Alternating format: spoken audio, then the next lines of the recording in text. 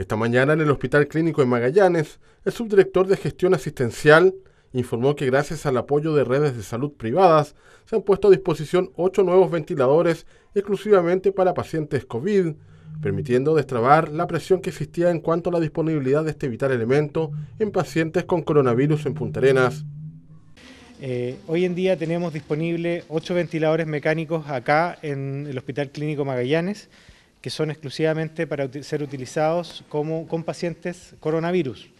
Eh, esta es una situación bastante dinámica. Eh, hoy en día tenemos ocho, ayer estábamos críticos, teníamos dos, eh, logramos conseguir más ventiladores con la red privada. Sin embargo, de verse nuevamente reducida la cantidad de ventiladores, Cabrera no descartó que solicitarán más, por ejemplo, a Puerto Natales y por venir. afortunadamente no hemos necesitado tener que traernos ventiladores de, desde Porvenir o desde Natales, pero no se descarta en lo absoluto la, posibilidad de tener que traerlos en los próximos días.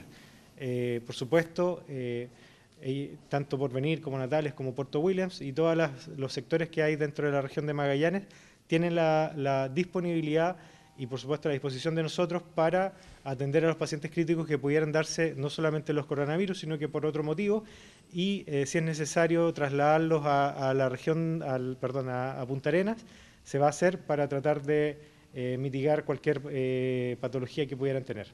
Paralelamente, Cabrera se refirió al aumento de contagios en funcionarios de la red de salud, número que preocupa, puesto que de 67 funcionarios en cuarentena informados el jueves pasado, este sábado aumentó a 91 y de 27 casos positivos COVID, este se elevó a 47. Dos de esos casos confirmados están graves.